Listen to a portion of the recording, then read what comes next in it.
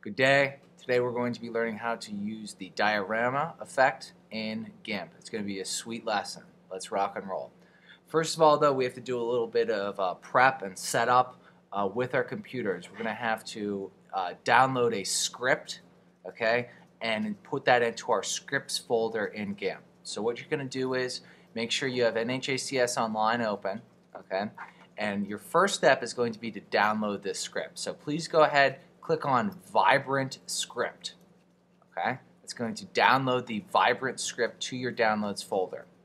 Okay, from there, what you're going to do is you're going to take that script and put it in a special folder that GIMP can read.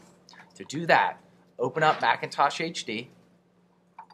Go ahead then to your house. Okay, see how I've got this on the left here? Scroll down, and for me it's Jay Fleming.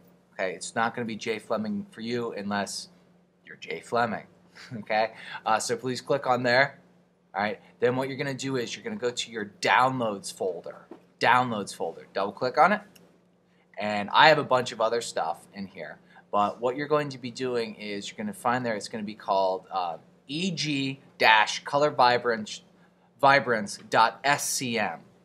It's a fancy way, it's a script we're going to be using. So you're going to either right click or control click and do a copy. Okay, copy eg blah blah blah dot scm. Copy that. Okay, then what you're going to do is go back to your house.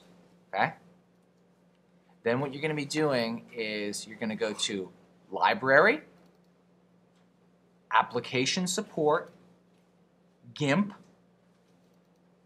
and then scripts. You're going to have to scroll down scripts. Let's double click on that and let's paste that in there. I already have mine in there, but you're to do paste item. Okay? For me, this won't happen for you, but click on replace. All right, now it's in our scripts folder. So we're going to go ahead. We're to open up GIMP now. Okay?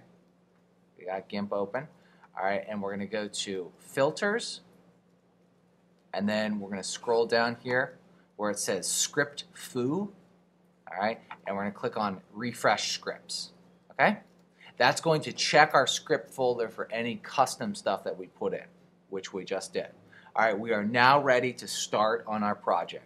So go back to NHACS Online, click on Cityscape, okay? That's going to download, see, that's going to download that picture that we're going to be working with, and it opens up in preview. Obviously, we don't want to open up in preview, we want to open up in GIMP. So let's close that close our downloads folder. You can also click on here, let's click on diorama effect. That's going to give us our written instructions that we're going to be using. So open up then that picture you just downloaded, uh, open that up in GIMP. So do a file open. Again, let's go here, go to J Fleming. For you, it'll be different. J Fleming. Then downloads. And then let's open that. It's called cityscape.jpg. Let's open that up. Okay? Assign. Okay, so we got our cityscape here. Now let's look at what our first step is in our instructions.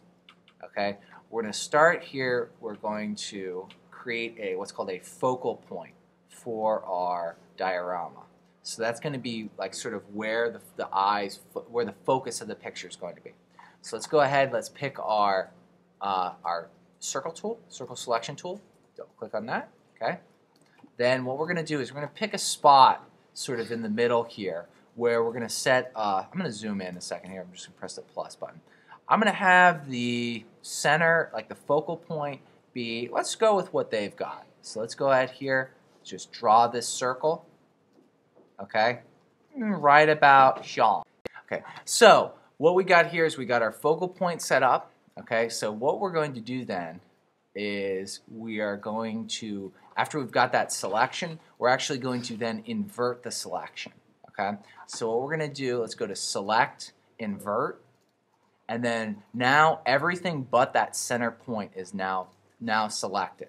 So we're then we're then, and this is new for me, I learned something with this one. We're now going to feather the selection. You guys remember with the lasso tool, how you could select that option? We're going to make it so that this circle is less jagged. So let's go here, let's go to select, feather, and we're going to set it up, let's put that value as 400, 400 pixels, okay? So now you see, you see that got a little, that's a little different now. So then we are going to blur, okay, everything else but that focal point. So let's go ahead here to filters, blur, Gaussian blur, and we're going to set in, set in, we'll do 7 and 7, okay? Click on OK. That's going to blur everything but that center point, that focal point, okay? So there we go. We got that done. All right. Now what we're going to do is we got to do a select none. All right. From there, we're going to go to colors, then curves, and we're just going to make a slight adjustment, just like it is in the directions. It really just you can see. Uh, I, think it live updates. It updates a little bit. We're just going to make a slight sort of curve there. Okay. Click on OK. And then we're going to be using that script that we had downloaded. Okay. So we're going to go to filters. Then this is new. EG color vibrance. Okay? From there, we're going to set our values to 11.67 and then 97.05. Okay? Those values again 11.67, 97.05. Okay? Then we're going to click on OK.